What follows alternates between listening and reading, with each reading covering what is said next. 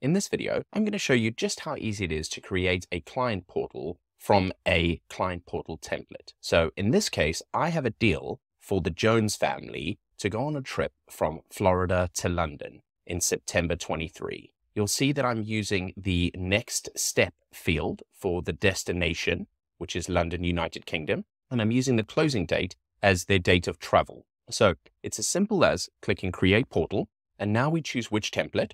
So in this case, we have Peter and Mary Jones. So I'm going to use the trip preparation portal for two guests for deal name. Now I'm going to select the main portal person, which in this case will be Peter Jones in our contact name field.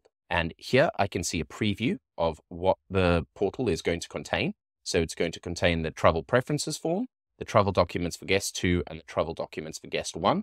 It's going to be sent from our organization email address, which is info at zeportal.net. It's going to have 24 hours between chase emails, and it's going to be saved to the default parent folder, and it's in the deals module. So now we click create, and there we go, the portal's been created. So here we can see that the portal has been created.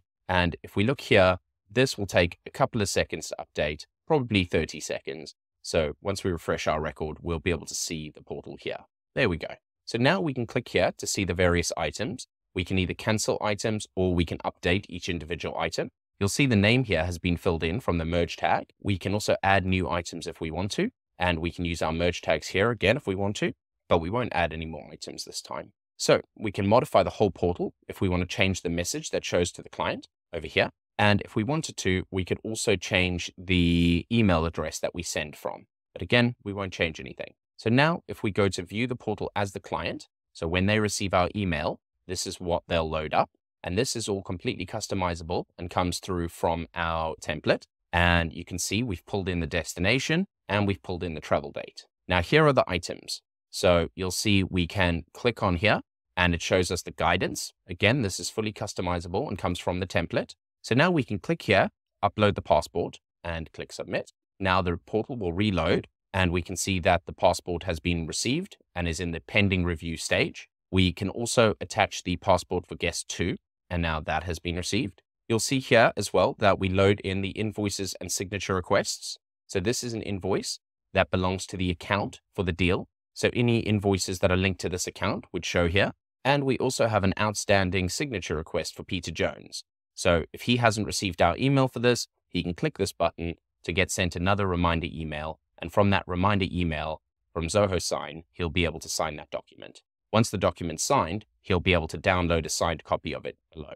All right, so now that we've submitted the two documents, we won't submit the form just yet. Let's go to the system and see what it looks like from our perspective when we need to deal with these items. So firstly, I've got this dashboard item set up. So it shows me a list of the items that require review.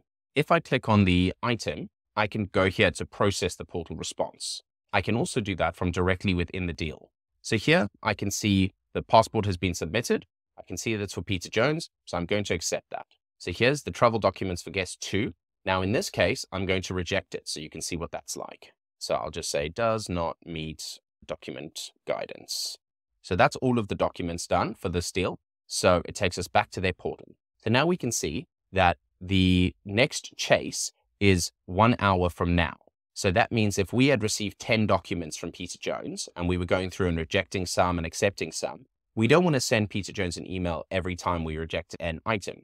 So we wait to send our next chase email for one hour after we've processed the documents. So if we reject several things, he'll only receive one email and then he'll be able to go in and deal with that. Now, an hour after I rejected those documents, this email was sent. So as you can see, it's got our company logo here, which we set in the portal settings, and then it has our email message. Now, this is all completely customizable by you, and you can edit this by just editing the standard email template inside Zoho CRM, the same way you would edit any other email template. Now, when the customer receives this and clicks on the link, it takes them back to their portal. Their portal will load up and it'll show them that one of the items has been rejected. So what we can do now is we can click in here, we can add another file, and we can submit that.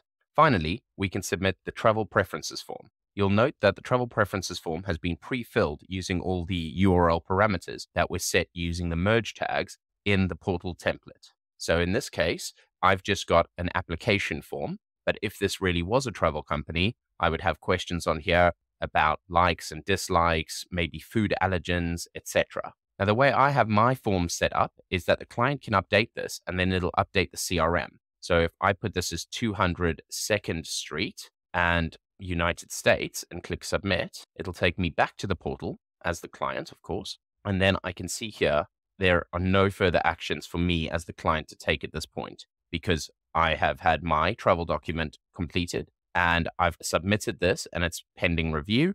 And I've submitted this and it's pending review. I can still access my invoices and I can still see my Zoho sign requests. So if we close out of this as the client and we refresh the portal inside the CRM, we can now go back to the deal and we can process the responses.